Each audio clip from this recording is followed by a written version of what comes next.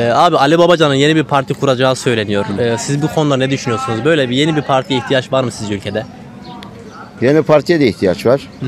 Ali Babacan da gelse, bu zihniyette gelse bu ülkede boş. Boş diyorsun. Hep gerileriz. Hep gerileriz kardeşim. Peki siz bu yeni oluşuma e, destekler misiniz abi? Oy verir Destek- misiniz? Ben vermem. Vermem diyorsun. Vermem. Neden abi? Ben sosyal demokratım. Ee, peki abi bu yeni oluşumun AKP'ye bir zararı olur mu sizce? AKP'ye zararı şöyle olur. e, Küçük bir oranlarda olur. AKP oturmuş bir parti. Ama ilerisini bilmiyorum. Şu anda muamma. Ee, peki Millet İttifakı, İttifakı'nın abi bu e, CHP ve İyi Parti tarafına bir faydası olur mu sizce yeni partinin? Valla İyi Parti ile CHP'ye bir faydası olur mu? Olmaz. Abi Ali Babacan'ın yeni bir parti kuracağı söyleniyor. Ee, siz bu yeni parti hakkında ne düşünüyorsunuz? Gerek var mıydı? ihtiyaç var mıydı böyle bir partiye? AK Parti'den ayrılma değil mi Ali Bay Parti Evet AK Parti'den AK Parti'nin kurucularından. kurucularından? Ali Baba geri gelecek. AK Parti'ye faydası olmadı ki kuracağı partide faydalı olsun. Olmaz mı diyorsunuz? Olmaz tabii ki. Siz kurulsa oy verir misiniz? Kesinlikle olmaz. Peki bu yeni parti e, kurulursa abi AKP'ye bir zararı olur mu? Oy kaybına neden olur mu sizce? Olmaz. Olmaz İnsan mı diyorsun? olmaz, olmaz. İnsanlar Hayır, artık Erdoğan'ın. gözünü açtı yani. Kar- görüyor karşı tarafları. Açtı diyorsunuz. Tabii Peki canım. e, e, CHP ve İyi Parti'ye bir faydası olur mu? Ya olmaz zannetmem olmuyor. Olacağını O zaman zann- kimseye faydası zannet- olmaz abi. Olmaz, olmaz. Kendi Kendi, kendi baba. küpüne, sirkesinin kendi küpüne zararı Zarar olur. verir, Başka bir Çok şey teşekkür yapmaz. ederim. Ee, Ali Babacan yeni bir parti kuruyor abi. Ali Babacan. Evet. E, sizce yeni partiye gerek var mıydı? Kurulursa destekler misiniz? Ben yaklaşık 15 senedir savunduğum bir şey vardır. Şu anda Türkiye'de bu insanlarımızı geleceğe taşıyacak tek bir tane siyasetçi yok. Hepsini biz sırtımızda taşıyoruz. Ha Ali, ha Mehmet. Bizim için değişen bir şey yok. Önemli olan toplumu geleceğe taşıyabilecek siyasetçilerin olmasıdır. Biz bugün Türkiye'de bu problemi yaşıyoruz. Onun için yeni bir partinin yeni bir kişiyle kurulması sonucu değiştirmez. Sonuçta sistemin bir değişmesi lazım. Birçok şeyin değişmesi lazım. Ufku olan ülkesini ve halkını sevip onları geleceğe taşıyabileceğine inandığımız siyasilerin oluşması lazım. Şu anda biz Türkiye'de bunun eksiğini yaşıyoruz Yeni partiden ziyade yeni bir sisteme mi ihtiyacımız var diyorsunuz? değişime ihtiyacımız var. Yani yeni parti eski sistemle oluyorsa hiçbir anlamı yok. Eski insanlardan oluyorsa yine bir anlamı yok.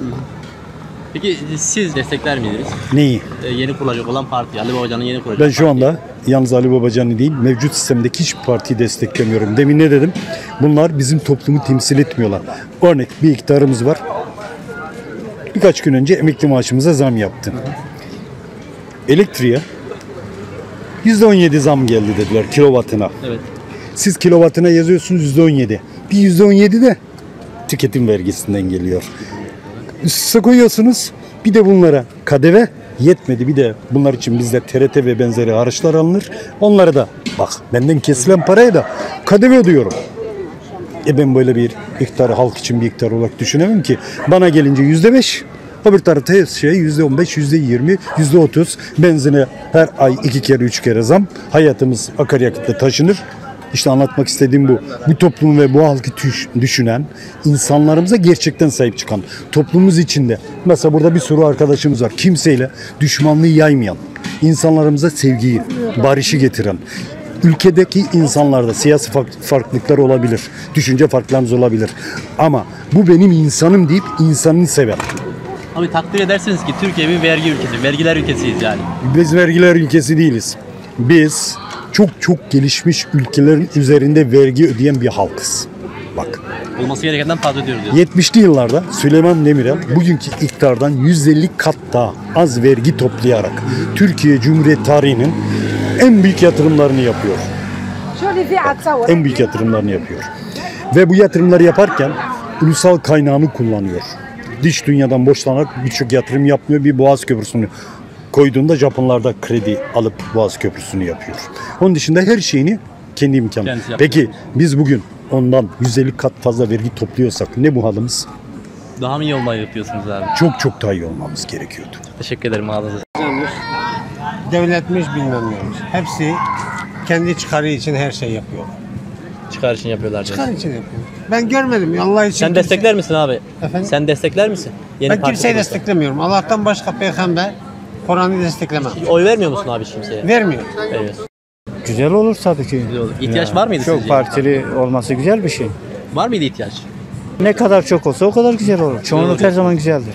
Her peki. yerde. E, destekler misiniz abi yeni parti kursa? Ya benim kendi tuttuğum parti var. Var diyorsun. Bunun AK Parti'ye bir e, zararı olur mu sizce? Ben olacağını düşünüyorum. Zararı olur diyorsun. Çünkü fikirler farklı, farklı fikirler var. E, çünkü sonuçta kökten gelen Şunu Ali düşünün, şunu düşünün efendim. Kardeşler arasında bi- bile farklı fikirler vardır. Evet. Bunu herkes biliyor. Dolayısıyla yani insanlar fikirler farklı. Sen yaparsın, iyisini yaparsın. Ben de yaparım, daha iyisini yaparım. Ötekileri daha daha daha iyisi olur. Değil mi? tabii. Aynen. Rekabet her zaman iyidir. Onun için şu çok önemli. Ee, geçmişi hiçbir zaman unutmamak lazım. Geçmişle geleceği arada değerlendirerek düşünüp konuşmamız güzel olur. Nasıl değerlendirerek? Geçmişte biz, ben Avrupa'dan geliyorum. Avrupa'da gidiyorsun. Geçmişte Avrupa da çok iyi değildi. Geçmişte Türkiye'miz de çok iyi değildi. Ama geçmişte fakirlik de vardı.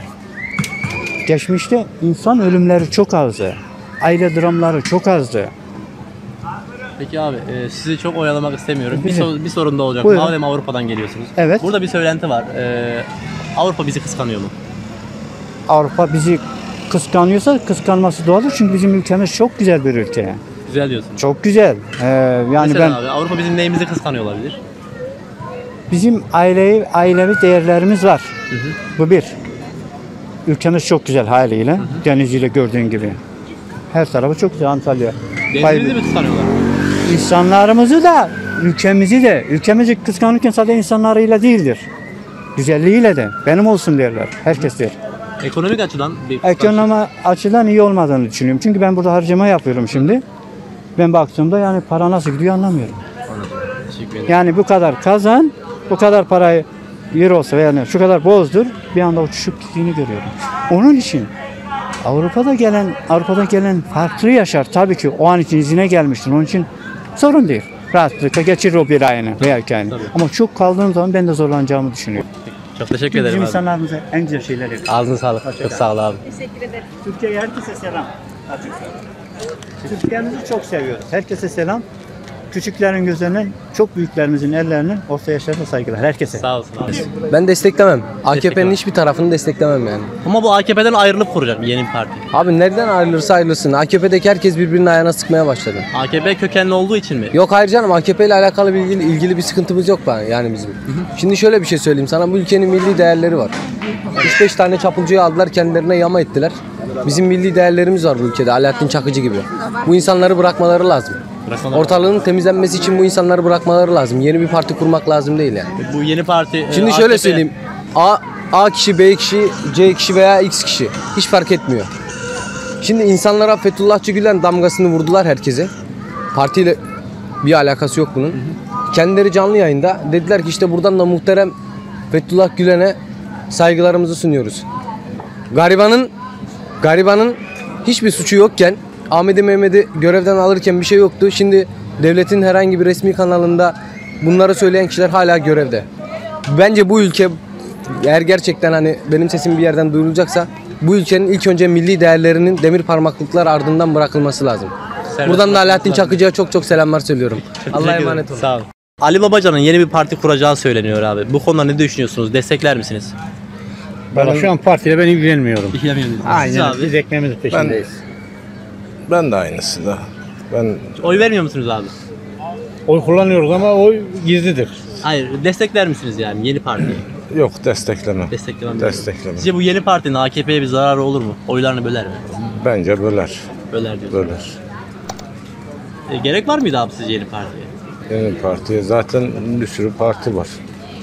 Bence Haddinden gereği fazla de var diyorsun. Fazla. Peki kurulursa abi e, Millet İttifakı ya CHP ve e, İyi Parti tarafına bir faydası olur mu? Bence Biraz olur. daha olur. Şöyle olur. e, sonuçta bir parti daha çıkıyor ortaya. Sonuçta oylar bölünüyor. Oylar bölündüğü için faydası tabii olur ki diyorsun. yani illa ki yani.